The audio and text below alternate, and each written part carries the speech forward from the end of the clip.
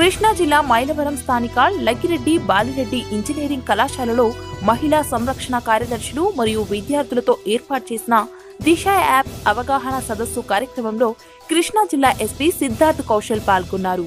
ముఖ్యమంత్రి ఆశయాలకు అనుగుణంగా ఈ కార్యక్రమాన్ని విజయవంతం చేయడానికి శాయశక్తుల పోలీస్ శాఖ పనిచేస్తుందని తెలిపారు. రక్షణ లేని సామాజిక ప్రదేశాల పర్యవేక్షణకు ప్రత్యేక చర్యలు తీసుకుంటామన్నారు. దిశ యాప్ మహిళలకే కాదు పురుషులకు కూడా ఉపయోగపడుతుందన్నారు. ప్రతి ఒక్కరూ దిశ యాప్ డౌన్లోడ్ చేసుకోవాలని పిలుపునిచ్చారు. నూజివీడు సబ్ డివిజన్ పోలీస్ పనితీరు సంతృప్తికరంగా ఉందన్నారు. అనంతరం హెల్మెట్ వాడకంపై ప్రజలకు అవగాహన కల్పించేందుకు పురవీధుల్లో బైక్ ర్యాలీ నిర్వహించారు.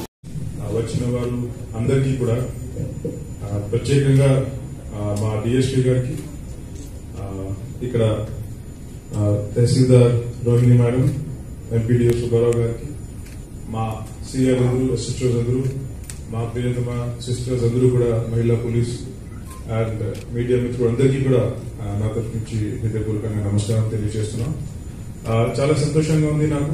ఐ మీన్ మీ అందరికీ తెలుసు నేను జస్ట్ కొత్తగా వచ్చాము. ఇప్పటికే పది రోజులు కూడా కాలేదు కానీ ఐఎమ్ ఫీలింగ్ వెరీ పాజిటివ్ నిజంగా మీ అందరికీ ఈరోజు మీ మీ మీతో ఇక్కడ ఇంటరాక్ట్ అవ్వడం ముఖాముఖిగా ఈ విధంగా మీ మోటివేషన్ మీ టాలెంట్ మీ ఇప్పటి వరకు చేసే పని అవి అంతా కూడా వివరాలు తీసుకోవడం నాకు చాలా కాన్ఫిడెన్స్గా ఇస్తుంది.